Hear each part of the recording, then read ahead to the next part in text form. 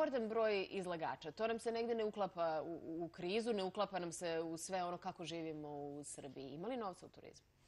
Pa izgleda da ima. Izgleda da ga ima. Ima želje za popust na doveži agencijski popust, pa to zna da prekjuče posetilaca na Beogradskom sajmu mogli su da vide kao na dlanu sve što sa dušom. Ove godine nastavljamo promociju organski bi otprilike bila ponuda. Da, to je ono što želimo da ispromovišemo. Tako Međutim, je. šta nam govori statistika? Znamo da, da raste broj e, stranih turista u Srbiji. Šta je ono što oni smatraju da je najinteresantnije i gde najradije dolaze? Da li je to Beograd? Čujemo da je na Kopaoniku sezona sjajna, da ima mnogo Engleza. Šta još zanima strane turiste? Najpre Beograd. Dakle, više od 50% svih stranih turista dođe u Beograd. Definiše šta je, ali nešto zbog čega se stranci lepo osjećaju kod nas. I svake godine beležimo porast broja stranih turista u, u celoj Srbiji u Beogradu za neki 7, 8, 10 odsto, što su dobri pokazatelji. I Beograd i Srbija zaista imaju šta da, da, da pokažu.